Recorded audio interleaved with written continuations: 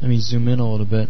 Now we get into the point where we need to actually mark some of these faces as invisible so that we'll be able to walk, see and walk through them inside this little base. So I'll switch over to visibility and I'm going to lower the uh, the radius down to 1 so I can see exactly which uh, which quads or faces I'm hiding using this. And then simply control and right drag across making sure I knock out enough of the pieces so that the uh, the entrance here looks completely on let's see need to maybe paint those out. And this is where with the uh, quads being only visible or invisible we will have to go back and actually add a little bit more detail using static meshes around this outside to cover up where we had to cut into that uh, the hill a little bit in order to make this walkway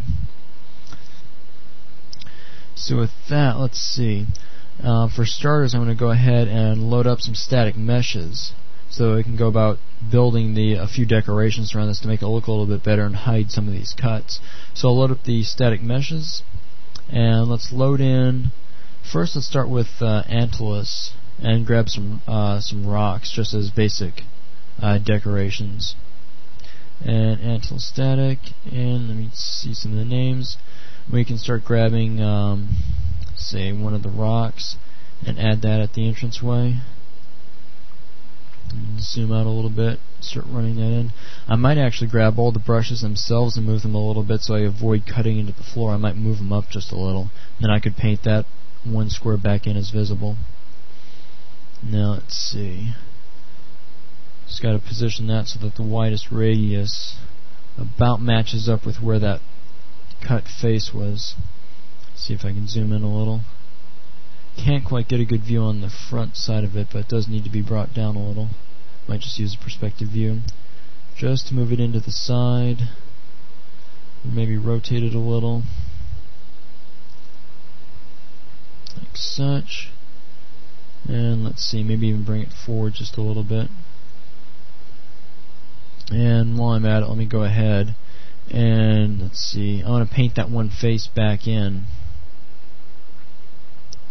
and simply move the move the brushes up so that's that's not an issue where we don't have that poking through the floor. Grab all the brushes and I'll move the last one up since the builder one's in the way. Just move these up about one maybe maybe roughly eight units or so and deselect and then move the builder brush out of the way and match this final brush up with the others. Moved up the same amount. If I was to rebuild all now uh, we could spend more time and fix that one little corner but that shouldn't get in the way too bad. Let me just go back and tweak the static mesh some more to move it in as a matter of fact while we're moving brushes you can move all of them to the left and just avoid that edge altogether brushes, move them over, rebuild. So that's a little bit of cleaner edge on the side there.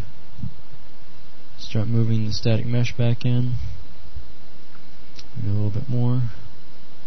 Maybe a little bit back. And about like such. Now we need to start filling in this area what we might do is just grab the bottom of this brush and pull the vertices out so they sink into the ground there. So what I'll do is I'll grab that addition brush and in the front view go ahead and grab some vertex editing and pull that down into the terrain a little bit. Let's see, maybe just a little bit more. Sink it in really well so it's very noticeable. And that way it's sunk into the terrain a lot better. As a matter of fact, that whole side just about lines up now. But what we might do is go ahead and duplicate or even grab a different version of that rock and add it to the other side.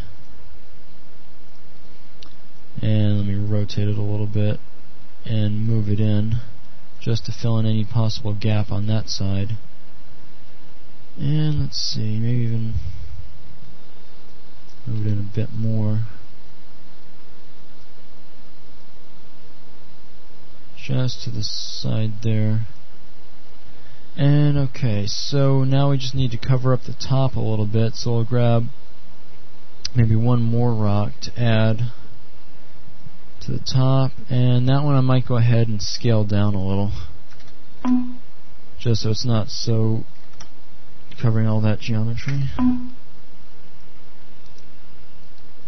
Rotate it a little, pull it back, just to add a little bit, just a bit more detail. Maybe look at it from inside, and without for just a little bit of tweaking, that should look okay. Where we have, let's see, the basic cut, and I don't know if you want to lower that edge down a little bit so it looks more like a tunnel. Yeah, that's okay. Okay, so with that, I mean, a little bit of an entranceway. Of course, you could go and spend the time to pull out this entire length here out into a hill, so that you'd have like a more terrain looking. But already it's like a uh, basically a base built into the ground, and then with rocks around the entrance. So you can see we have terrain formed out here, but from the inside you can see directly into it. And as a matter of fact, just for make it look just a bit better, we'll add a few lights to the entrance and inside. Won't tweak these too much, just allow us to build with lighting and then get a better representation. A little bit dark, but still that's more of what it's starting to look like. We can actually go and hunt down that old sunlight and point it in from this way if we wanted to. I don't know if you want to hunt down the sunlight or just Actually, that's pretty good. I mean, yeah, you can you can definitely see a lit hallway going in there. That's pretty cool. Right. So from this side, you see you have a terrain type hill, but you can still look at it from this way and see and actually walk all the way inside it. Right. So that's pretty much the basics of. I mean, at the heart, all this really was to uh, to make this possible. Simply painting or setting the visibility of some of those faces. Notice that the faces are still there; they're just marked as invisible, so you'd be able to see and walk through them. Very cool. All right, well, that's going to wrap up this lesson. Thanks.